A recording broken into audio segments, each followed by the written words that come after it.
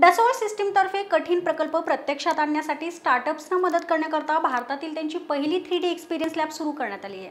Dassault सिस्टीम्सने भारतातील त्यांची पहिली थ्री डी एक्सपिरियन्स लॅब सुरू करत असल्याचं जाहीर केलं आहे पुण्यातील हिंजवडी येथील डसॉल्ट सिस्टीमच्या संशोधन आणि विकास कॅम्पसमध्ये ही लॅब सुरू झाली आहे.